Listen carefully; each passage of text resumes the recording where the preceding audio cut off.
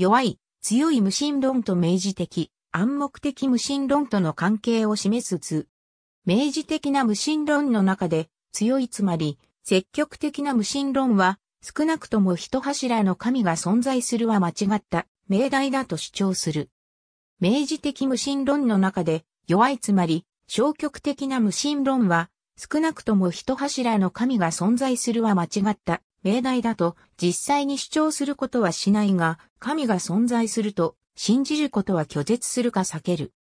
暗黙的で弱いつまり消極的な無神論には神を信じないが、そういった信念をはっきりと否定しないできたような人々が含まれる。積極的無神論とは神が存在しないことと主張するような形の無神論を指す用語である。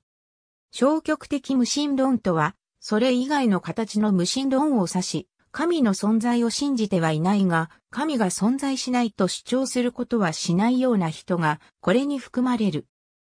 強い無神論や硬い無神論は、積極的無神論と同義に使われ、逆に弱い無神論や柔らかい無神論が、消極的無神論と同義に使われる。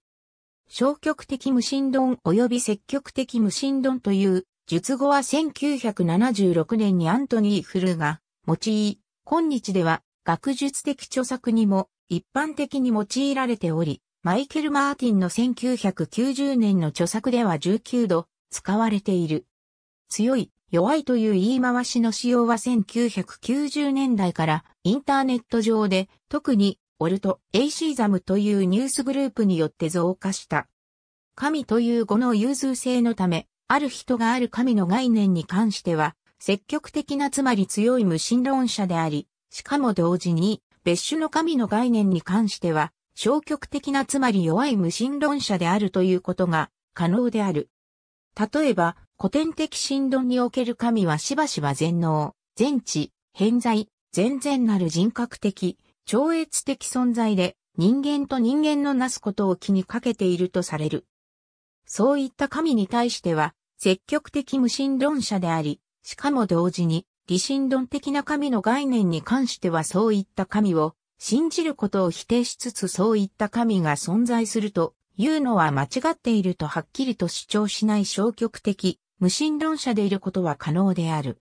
積極的無神論と消極的無神論は哲学者ジョージ・ハミルトン・スミスの暗黙的無神論と明示的無神論という分類と神は存在しないという特定の考えを持つかどうかに関係するという共通性はあるものの異なるものである。積極的、明示的無神論者は神が存在するというのは間違いだと主張する。消極的、明示的無神論者は神が存在することを信じないと主張するが、神が存在しないというのは、まであるとは主張しない。神が存在すると信じていないが、そのことを主張しないような人は暗黙的無神論者に含まれる。そのため暗黙的無神論者の中には以下のような人が含まれる。神というものについて聞いたことがない子供や大人神について聞いたことはあるが関連に考慮に値する思考を提出したことのない人々そして神の存在についての判断を保留しているがそういった信念を否定していない不可知論者暗黙的、無神論者はいずれも消極的つまり弱い分類に含まれる。この積極的、消極的という分類のもとで、不可知論者が消極的無神論者とみなされることがある。